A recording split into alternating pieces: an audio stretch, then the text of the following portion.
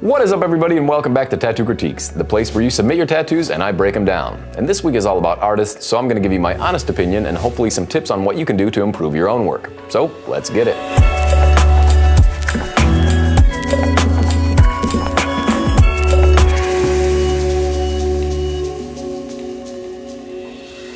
All right, the first tattoo submitted is from Dan V out of New York City. And Dan, you sent over this segmented head sculpture tattoo. I don't know if this is Zeus or one of those other old white men. They all look the same to me. But at first glance, this tattoo is pretty solid. And there's only a couple little areas that I think you could improve upon. The first one being all the outlines that are surrounding these pieces don't look very confident. They almost look sketched in. This thing would look a lot more clean had you used a one pass outline on all these parts. You could then use a mag to kind of hide those outlines and it would have a much more crisp appearance. The shades in the face are pretty great, but the hair looks a bit sloppy. You need to clean up that hair a bit and keep those details just as sharp as you have in the face. By using the same technique as we just talked about in the outlines, the same thing could be said for the hair. I think you just added a little too much dark shading in the hair and it's just not coming off as stone or marble. Because the face absolutely does look like stone. I just think you fell short when it comes to the hair. And I wish there were some more separation between the first and second segments because it just feels like one piece. Because I love the separation and skin tone that you have in the rest of the tattoo, I just wish the top part had that same feel. But not a bad tattoo by any means. These are just a couple things that caught my eye. But You did send over another tattoo, so let's check that out.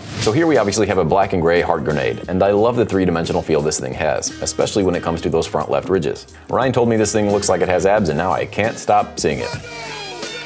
I think the concept and the design of this tattoo you really nailed, and I love the contrast it has along with the black shading. You did a great job blending the anatomical heart with the grenade, which is a task in itself, and it looks like a real object. However, similar to the last one, I do think you could improve on your lines a little. They're just not coming off that confident. The edges, when it comes to the top of the grenade and the top of the heart, just lack strength. It feels like, to me anyway, that you're scared to put those lines where there's going to be little to no shading, because the lines at the bottom of the grenade are solid. If you could bring that same line weight from the bottom of the grenade to the top of the grenade and that little part of the heart, you would just really elevate this tattoo that much more. Because it is a good tattoo. Try to be more confident when it comes to those scary areas, and you're gonna see a huge improvement in your work. All that to say is, I think you're killing it. These are excellent tattoos. Just a few minor tweaks here and there, and I think you'll be a lot happier. But thank you so much, Dan, for sending those over. All right, the next tattoos are sent in from Osni out of Belize. And Osni, you say you've been tattooing six years as a side job and you could really use some help when it comes to packing colors, more specifically yellows and oranges. But the shark that you sent over is covered in a bandage, so I can't really tell what's going on there. When it comes to the yellow, it does look green, but that's what you get when you add those blue reflections into yellow. You're gonna end up with green. From what I know, when packing in yellows, you gotta go kinda slow, because yellow can be a tough color when you're packing it in wall to wall, so you really gotta make sure you're putting in the time. But from what I can tell, it looks like your color saturation is there, albeit some parts are a bit messy, but it does look saturated. What I'd really like to talk about are those black and gray shades, and that shark. More specifically, those teeth. What happened? I know sharks' teeth are supposed to be scary, but yikes. I honestly think your color packing is better than your black and gray shading, because your tones really aren't smooth or cohesive in any way, and everything on the top part of this tattoo is just blotchy. But as I did mention, there's a wrap on this tattoo, which makes it very hard to judge, so next time try to send in a tattoo that's not covered, especially when it comes to your portfolio, nobody wants to see that. But you did send in another tattoo, so let's check that out. All right, this next tattoo you sent over looks pretty good, but I know I've seen this on the profile of Jason James, and it looks like you copied it line for line. This is definitely something we don't condone. Even if somebody brings you a tattoo that they want exactly like that, you gotta change it up a bit. You don't wanna rip off somebody else's artwork. Chances are they just like that style, so you've got some room to play with it. And remember, a copy tattoo is never going to be as good as the original. That being said, let's talk about some of the technical parts of this tattoo because I can clearly see this one a lot better. Your black and gray shading is definitely improved when it comes to this tattoo as everything's a lot more legible and clean. I like how you used a liner when it comes to the shadows around the separation of the nose and up toward the eye. I can appreciate the attempt at wood grain up in the handle, although it does feel a little light, like I'm not sure how long that's going to stick around for. But there is a good use of line weights throughout the tattoo, which does add to the contrast. We couldn't really tell how your outlines looked on the first tattoo, it being realistic and covered in wrap, but these outlines don't look that bad. I'm not going to call them great, because there's a couple areas that are thicker than others, or you maybe double past some lines, making them thicker than they should be. And one thing I don't like about this tattoo at all is the smoke. It just looks very weak and there's not much to it. But no matter how good any of this looks, again, it's never gonna look as good as the original. I mean, just look at the smoke on the original tattoo. It looks far better and actually looks like smoke. Same thing could be said with the wood grain in the handle on the original. That's gonna stick around and stand the test of time. All these things in the original are intentional because that's their style. You've got to find your style. I do want to say it's fine as a newer tattooer to experiment and test the waters a little, but don't send it in to me to critique and don't claim it as your own work. Always give credit where credit is due, because it's very hard to find your style when you're just copying others. You can imitate, but don't steal. When compared to the first one, which we could barely see, looks a lot better. It just leaves a little sour taste in my mouth. And the whole comment about it being a side job, I mean, what even is that? It just hurts my heart a little. All right, up next we've got four-year tattooer Alexis Holder, and Alexis, you asked for an honest critique, which is in fact the whole premise of the show because I personally know how hard it can be to get a honest critique out of your coworkers. Everybody just wants to kiss your balls, telling you what you want to hear. But that doesn't help me, and I know that doesn't help anybody else either. So let's break this thing down and see what we can do. My first impressions are this is a pretty solid tattoo. It looks great from a distance, and although this is a fairly common design, I've seen a handful of them in my career, it does look like you put your own spin on it, and I can appreciate that. I do like the contrast of techniques you have. You've got some hatch shading in some areas and mag shading in others. However, when it comes to the application of the hatch shading, you could definitely use some improvement. For one, the spacing is all over the place. It definitely needs to be more uniform. I'm more a fan of the tight lines like on this upper left side of the face rather than the more open lines on the right side of the face. There are some gaps here and there that just make it feel like you rushed through those areas. This is the one area where you should have taken the most time because they have to be near perfect. Because every little discrepancy is gonna catch your eye. And two, not all the angles are the same. They look similar when it comes to the left and right, but if you look at the bottom, they're definitely a lot more up and down. If all these lines were at the same angle, again, it would have looked a lot more clean. Your eyes would have been drawn to those areas that they're supposed to be drawn to, like the eyes and nose. As it sits, our eyes are drawn to those flaws because they have become magnified. When it comes to the eyes, the irises definitely come off as flat tires because they aren't circles by any means. And I'm not sure if that was the point, I just don't like them. I just don't know of any eyes that have that shape. Just gotta make them round, it'll look a lot better. And while we're on the eyes, the glares in those eyes just make them look really far apart. And I think that's because you decided to put them on opposite sides when in reality they should be on the same side. One other thing that I'm not really a huge fan of are those eyebrows. It just looks like she needs to tame those caterpillars. They're just coming off stringy at the end and that probably could have been fixed with a little bit of mag shading. When it comes to the whites on the stars in the face, I think those are fine, but as far as the stars on the outside of the face, I think those dots are a bit unnecessary. They're not really doing anything for the tattoo. If you're gonna put them in there, put them all the way in there. If you want me to be honest with you, Alexis, at four years in, I think your stuff should be a bit tighter, because these are some issues that I see on my apprentice episodes. You always gotta remember your fundamentals no matter how far you are into your career. Because it's a great design, but keeping these details tight is really what's gonna sell this tattoo. But once again, thank you, Alexis, so much for sending that over. Alright guys, let's take a quick break and talk about some of the stuff that I use on the daily. If you haven't heard, or you're just new to the channel, make sure you check out Mad Rabbit. They've got everything you need for during your tattoo from beginning to end. They've got glides to sunscreen, even body wash to help your tattoos look happy and healthy. So head on over to madrabbit.com and make sure to use code PONY20 to save 20% off of your entire order. Alright, let's get back to it.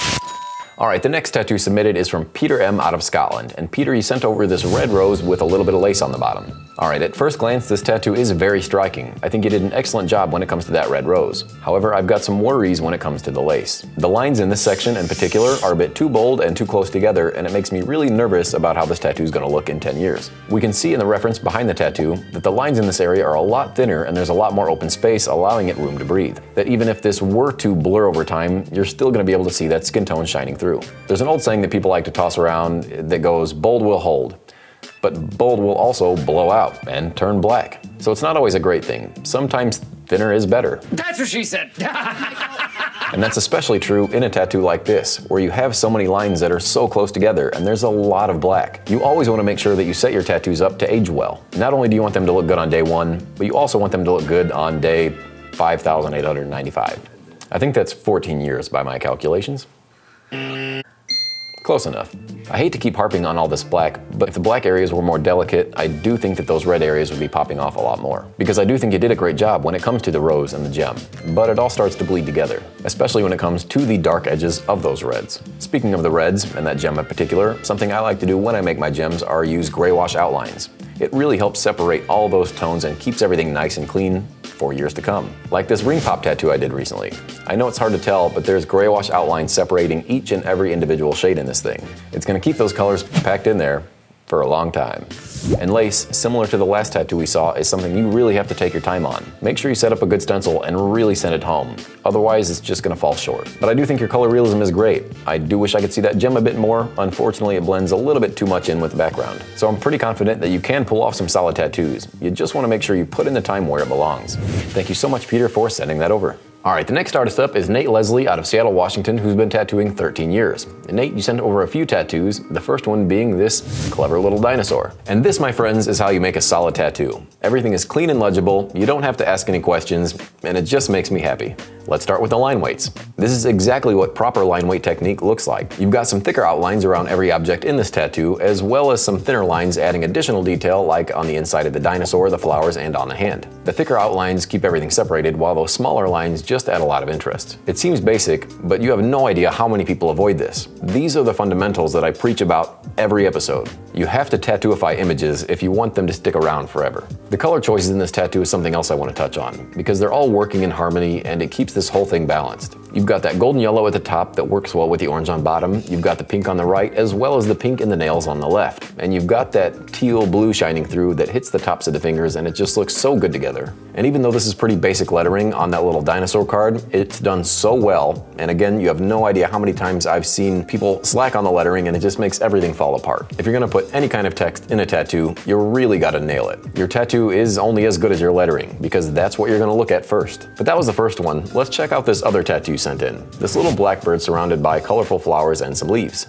Again, another solid tattoo, you can clearly tell Nate has his style. One thing that immediately catches my eye are these leaves. A lot of times you'll see artists add leaves to a tattoo, and they're generally pretty boring and they don't have any character. So it's refreshing to see something that can end up so basic, look so cool. And again, these colors just play so well off each other, that bright, vivid orange works so beautifully with that yellow on the left-hand side. And even that ombre in the yellow flower itself Chef's kiss. And even the fade that's happening in those flowers, the solid red at the bottom to the red orange on the right to the orange yellow, just looks so smooth. And when we look at that wing, I love how you changed up the tones in there, not keeping them all black or all gray, but adding some nice highlights and shadows with those tones, as well as changing up those shapes. Again, it just keeps things interesting. And just like with the last tattoo, you've mastered those line weights where you use those thicker outlines around all the important parts and use those thinner lines on the details, like in the chin of the bird and around the eye.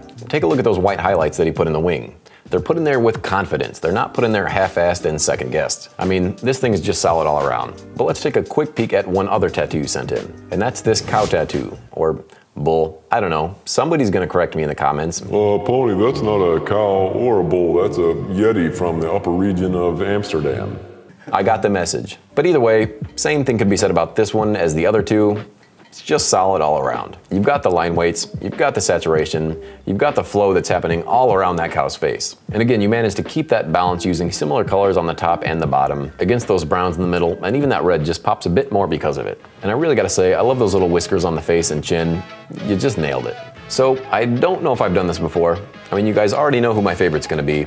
But not only that, I want to make him my featured artist of the week as well. I think his work is absolutely worth being featured and not just my favorite of the week. Going through his Instagram, I see a lot of the same qualities, picture after picture, not only of the tattoos that he sent in, but his entire portfolio. This is what 13 years should look like. Consistency, finding what works and replicating that tattoo after tattoo. I would bet money that he's got a solid game plan on paper before heading into the actual tattoo. And knowing what colors work well with each other is just something that comes with time and experience. So Nate, once again, congratulations on not only being my favorite artist of the week, but my featured artist as well. And everybody else, make sure you head on over to his Instagram page, give him a follow, and let him know I sent you. Thank you guys so much again for watching, and thank you to all the artists who submitted their work this week. Don't forget to subscribe while you're here, and as always, I will see you guys next week.